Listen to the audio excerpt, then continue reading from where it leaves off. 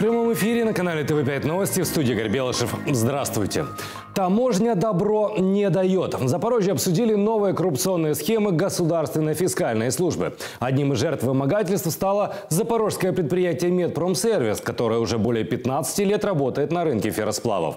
Благодаря подписанию ассоциации с ЕС компания занялась экспортом продукции в Европу. Но 26 января этого года на таможенном посту Ягодин Волынской области пять грузовиков задержали. Предприятие обвинили в подделке документов и вымогали взятку в размере 150 тысяч долларов.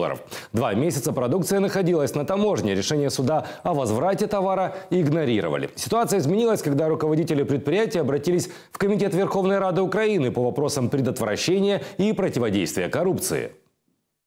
От коли я сказав, давайте я до вас заїду, то через буквально дві години вже приїхав слідчий з власне документами на товар. Тобто е, ми маємо наступний результат. Е, На митницях е, або це йде, ну, скоріш за все, по лінії внутрішньої безпеки ДФС, існує корупційна складова.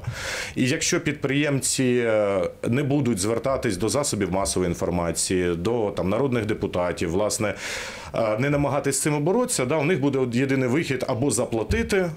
Або їх товар там буде стояти місяць, два, три. Герои живы, пока их помнят. В Запорожье на Кушугумском городском кладбище, где покоятся безымянные герои АТО, активисты установили памятный крест. Своими дальнейшими планами волонтеры поделились с Оксаной Якименко. Поэтому я тоже могу идти защищать Родину, и я уверена, что это будет мной сделано, как только придет повестка. Светлана уже больше года помогает бойцам всем, чем может. Вместе с волонтерами она и навещала солдат в госпитале и отправляла посылки на передовую. Активистка присутствовала и на захоронении неизвестных солдат. На установление памятного креста приехала вместе с коллегами-волонтерами. Говорит, находиться здесь – это святой долг каждого. Приехали отдать дань еще раз перед праздниками, перед поминальными днями, и, естественно, а, вот к установлению креста в память. У Светланы из родных и близких в зоне боевых действий никто не служит. Помогать бойцам она начала добровольно, по зову души. Говорит, что если мужу придет повестка, готова его отпустить. Мы готовы, если мужу придет повестка, мы уже решили, э, что никто не будет э, как бы бегать, это однозначно. На Кушугумовском городском кладбище покоятся 54 неизвестных солдата. Их похоронили еще 1 октября прошлого года. Все бойцы погибли под Иловайском. Уже 20 человек родные перезахоронили на своей малой родине. Их удалось идентифицировать по анализу ДНК. Ще залишилось 34 героя. Ось робота в цьому питанні продовжується. Е, Я думаю, що на протязі 2015 року значна кількість безіменних героїв буде визнана, тобто ми називаємо їх прізвища. Идея установления креста возникла у волонтеров еще в октябре прошлого года. Вот только средств на это не хватало. Сейчас помогли спонсоры. На кладбище крест осветили представители трех разных христианских конфессий.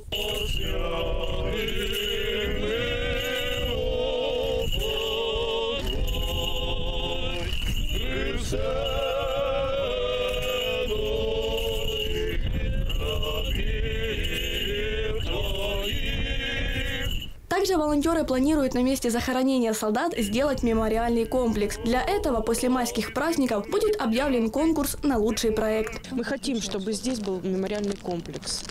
Э, Объявится конкурс э, на лучший проект. Э, Я думаю, что городская власть пойдет нам навстречу, выделит здесь место для мемориального комплекса. После утверждения проекта будет объявлен сбор средств. Помочь возвести комплекс сможет каждый неравнодушный. Оксана Якименко, Константин Пороскевич, ТВ5.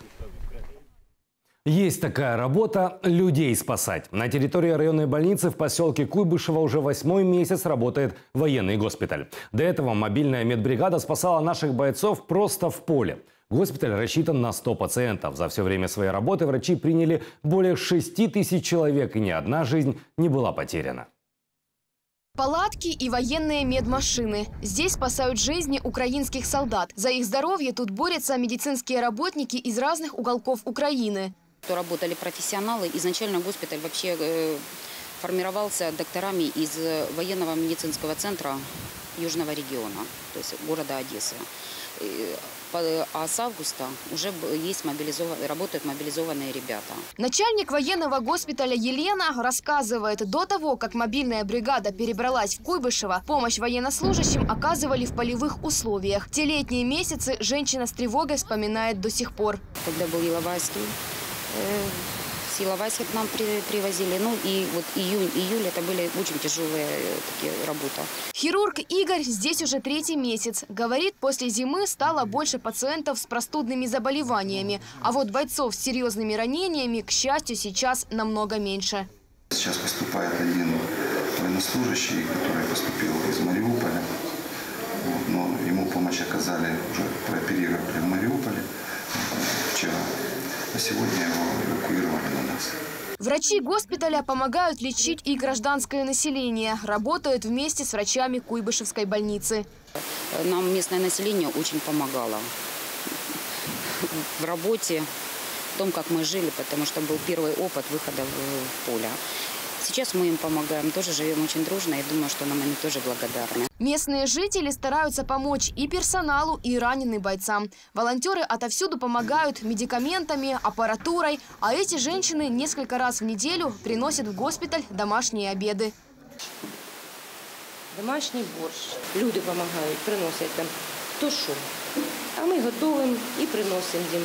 Просто з благодарності за те, що вони захищають наше спокійне життя. И врачи, и местные жители радуются, что солдат с серьезными ранениями сейчас в разы меньше. Но помогать здесь готовы всегда. И в случае необходимости персонал мобильного госпиталя снова отправится спасать защитников на передовую. Екатерина Шапка, Тарас Шевченко, Куйбышева, ТВ5. Псевдоперемирие и плачевные последствия необъявленной войны. Гуманитарная катастрофа населенных пунктов, которые находятся на линии огня. Почему здесь не прекращаются бои? Кто первым открывает огонь? Оценка ситуации от представителей ОБСЕ, а также репортажи с передовой, интервью с военными, эксклюзивные материалы и новые подробности о происходящем в зоне АТО смотрите уже сегодня в 19.45 в четвертом выпуске спецпроекта телеканала ТВ5 «Донбасс сегодня».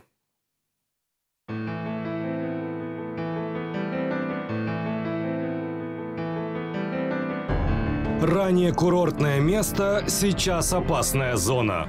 Одна из самых горячих точек в Украине – поселок Широкино. Какие последствия необъявленной войны? Репортажи с передовой. Эксклюзивные материалы и новые подробности о происходящем в зоне АТО. Смотрите спецпроект ТВ5 «Донбасс сегодня». Понедельник, 19.45. Сделать родной город лучше может каждый. Третий год подряд в Запорожье проходит конкурс социальных проектов «Мы – это город». Накануне состоялось торжественное открытие нового сезона программы. На большом городском празднике побывала и наша съемочная группа. Счастливые лица горожан, детские улыбки, воздушные шары, аниматоры, танцевальные и вокальные номера. Все это старт конкурса «Мы – это город-2015». В парке имени Маяковского скучать не пришлось никому. Для всех присутствующих конкурсы и викторины с приятными сюрпризами. Назовите основные цвета. Не лізьте поперед батька в пекло. Герба нашего родного города. Два, два основных цвета. Программа «Мы – это город» уже известна всем запорожцам. С каждым годом проект становится все более популярным. Жительница Запорожья Екатерина Яковлева пришла сюда неспроста. Признается, с удовольствием поучаствовала бы в программе. Ну, я смотрела по телевизору некоторые спортивные мероприятия, когда открывались э, спортивные площадки Запорожсталью. Да, вот такое слышала, но никогда не участвовала. Хотела бы. Надо сделать наш город лучше. Сделать наш город лучше может каждый. По словам организаторов, от желающих принять участие в конкурсе нет отбоя. Уже в мае все заявки будут рассмотрены экспертным советом. В этом году общий фонд программы составил полтора миллиона гривен. Что люди, которые сегодня собрались, которые еще сегодня подойдут, они заслуживают этот праздник, они заслуживают этот конкурс, потому что мы видим сегодня их инициативы, А инициативы комбинат всегда поддерживал и будет поддерживать. Мы, работники комбината «Запоросталь», работаем не только у доменных печей, у мартеновских печей, у прокатных станов. Мы еще являемся жителями города Запорожья. Поэтому комбинат поддерживал и будет поддерживать и развитие родного города, и те инициативы жителей города Запорожья и общественных организаций, которые будут направлены на развитие родного города под названием Запорожье. Прийти на открытие конкурса запорожцам не помешала даже изменчивая погода. Отдыхала здесь и Анастасия. Девушка говорит, как и другие запорожцы, хочет чистый, уютный и привлекательный город. Я так рада, что это все есть. И я очень люблю свой город, все люблю, все, что здесь есть. Ну, я люблю это все. Мне это очень нравится, мне это очень дорого.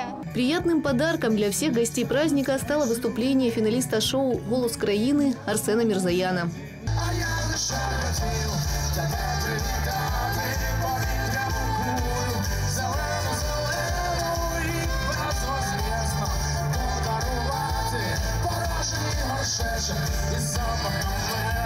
Я вот вчера был в Беларуси, вот только что прилетел. Завидно чисто, завидно все в порядке. Но при этом я понимаю, что мы ничуть не хуже и можем сделать это точно так же, как и наши братья белорусы. И поэтому нам для этого ничего не мешает. Нужна инициативная группа, она есть, она работает. И поэтому, э, наверное, спа- спасибо комбинату «Запорожсталь» за то, что, в принципе, есть возможность е, втілювати, скажімо, в життя мрії, честь бажання допомагати рідному місту. Евгения Мельник, Андрей Снисаренко, ТВ5. Скульптуры из соломы, камней и автомобильных покрышек. В Запорожье прошел восьмой фестиваль современного искусства «Ленд Арт Хортица». Таких фестивалей в Украине всего семь, и Запорожский стал одним из самых популярных среди творческих людей страны. Как творили участники «Ленд Арта» и какой смысл вкладывали в свои работы, пыталась разобраться Елена Назаренко. Пожалуй, единственное правило фестиваля Land Art Хортица – не проводить мероприятия два раза в одном и том же месте. В остальном – никаких условий и ограничений. Твори как хочешь и что хочешь. Главное – получай от этого удовольствие. Вот идея этого года была вот э, сдипсую вот эту э, депрессию, потому что такой тяжелый год, и вот надо какими-то событиями это все, ну, ну сбить вот этот вот тяжелый там эту коррозу вот тяжелых вот времен. Разгонять депрессию на правом берегу Днепра возле скалы Атар собралось полсотни художников из Харькова, Львова, Киева, Винницы, Днепропетровска и Запорожья. Львовский скульптор Алексей Коношенко в третий раз приехал на лендарт Хортица. Рассказывает, Запорожье его всегда вдохновляет. Е, Я знайшов дуже класну річ, яка вже була, ну вже існувала. Я тільки її підкреслив. В принципі, що вим- вимагає ну, лендарт від себе, це знайти в природі вже е, готовий об'єкт, бо ну все є, все, все, все подивитись, все вже зроблено. Ми можемо тільки не зіпсути, тільки підкреслити. е, Ту красу, щоб людина звернула увагу і сказала: Йо, як я ж того раніше не бачив. Большинство инсталляций на фестивале интерактивны. Вот это призывает делиться добром. Сюда можно положить, например, печенье, а взамен взять томик стихов Сергея Есенина.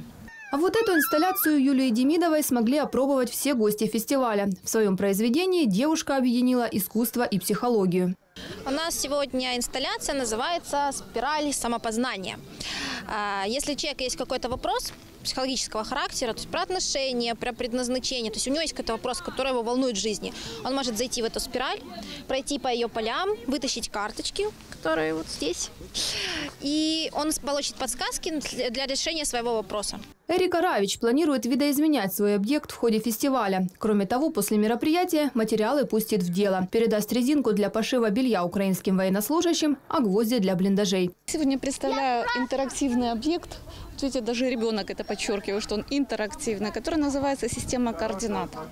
Вот. Суть объекта заключается в том, что мы имеем пространство, мы имеем нашу какую-то систему ценностей и систему влияния на пространство. И точно так же, как мы можем как-то, каким-то образом организовывать это пространство, да, влиять его, видоизменять, ну и оставаться к нему нейтральными. В ходе фестиваля трансформируется и инсталляция Виктора Бабенко, посвященная посвященная Запорожью. Ее элементы передвигают живые улитки, которыми парень дополнил композицию. На древней скале, возраст которой около 3,5 миллиардов лет, э, что вообще себе, конечно, сложно представить, дотрагиваясь до нее, э, расположить э, сувениры Запорожья, магниты, автором которых я являюсь, карту Запорожья, тем самым показывая какое наше место вечное, древнее. Улитки просто находились на этой же скале рядом в углах. Я их переместил, ну, красиво расставил. По традиции все работы, представленные на запорожском лендарте, будут изданы в специальном каталоге. Но главное, что увезут с собой участники и гости фестиваля – вдохновение для дальнейшего творчества и эмоции от дружеского общения. Елена Назаренко, Руслан Шевченко, ТВ5.